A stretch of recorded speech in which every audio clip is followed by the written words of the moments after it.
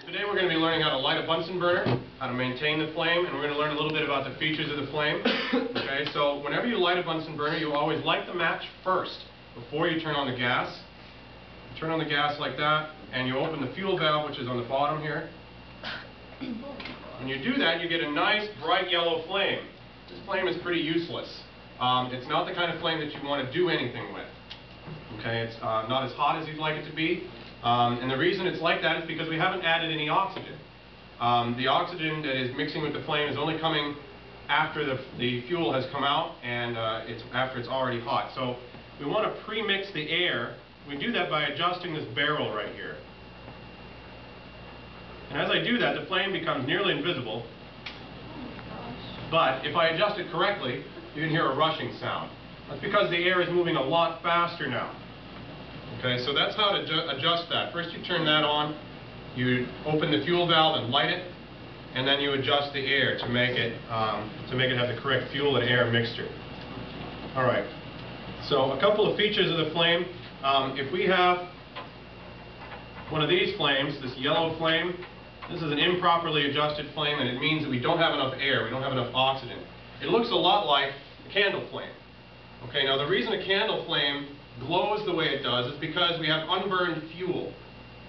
The unburned fuel in the case of the candle is a candle wax. And we can actually collect some of that unburned fuel on a piece of glass and you get this black stuff. That's the stuff that's glowing so hot and yellow here. It's actually so hot that it glows. Same thing is happening here, but the particles are a lot smaller, so I can't collect them on the glass. So the same thing is happening here. We get glowing because particles in that gas are glowing. That's solid pieces of of material there, although in this case it is a gas. Now, um, the air is moving pretty slowly through there, the gas is moving slowly, uh, and it flickers just like a candle flame flickers. You can actually make that flame move around like that. Um, it's useless for doing anything in the lab because a lot of applications in the lab, you actually want to see what color things change uh, when you heat them. Now this is called an oxidizing flame. If, it's, uh, if you're up close to it, or if you have a darkened room, you can see it's pretty blue. Maybe against my white lab coat, you can see that it's blue. Um, it makes a very rushing, a rushing sound of air because the air is moving very fast through there. That tells you that the flame is adjusted properly. Um, now, there's some things about the flame that you need to know. You might think that up here is the hottest part of the flame. In fact, right here at the tip of the inner cone is a double cone structure. There's this outer cone and a little inner cone right there. And the top of this inner cone is where it gets the hottest. So if I put a piece of metal in there, that's where it'll get the hottest. And actually make it glow red hot by putting it there. Now can you see it glowing there? Okay, it's harder to get it to glow up here. It's already pretty hot, so it's probably still glowing. But it's glowing hot, but this is the hottest part right there.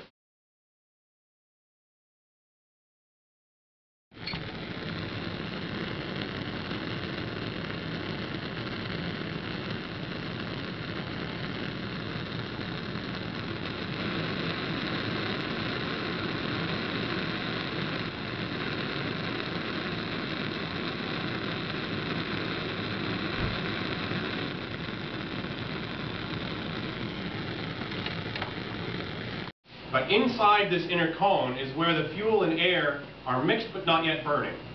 Okay, and let me demonstrate what I mean by mixed but not yet burning. Um, it's already adjusted. I have here a match that I have on a paper clip that I've changed the shape of it a little bit. Mm. So I can suspend the match right in the middle. Okay, let me move that over. Alright, now I'm going to relight this with the match hanging there. What do you think is going to happen? You're going to light the match in the middle. No. But it didn't. Okay, this should prove to you that that match is in a region where there is no flame. Okay, so that is a non-burning region uh, within this flame. That's where the fuel and air are mixed, but not yet burning. In order to make the match burn and to prove to you that it's not lit, because you may not be able to see it from where you're sitting, I can push it to the side a little bit to the edge, and that flash of light was the match catching on fire.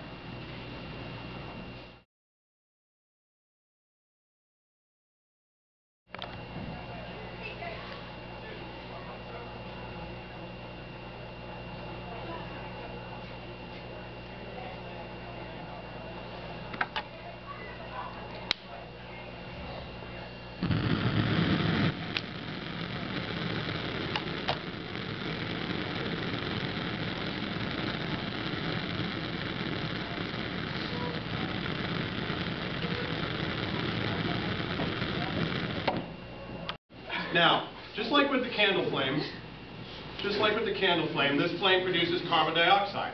Carbon dioxide is an invisible gas, uh, and it's really hard to collect it and prove that it's there. So you're going to have to trust me on that one. Now, with the, with the candle flame, I can prove that it produces water as one of the chemical products by making the water condense on the glass.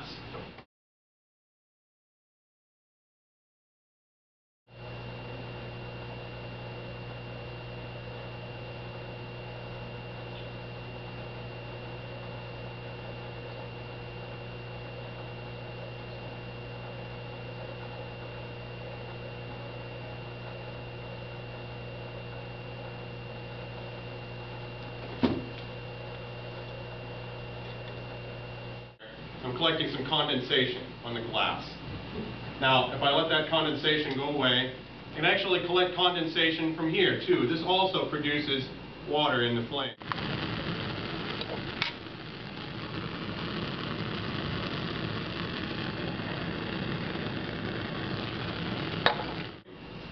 Can you guys see that that's condensation on it?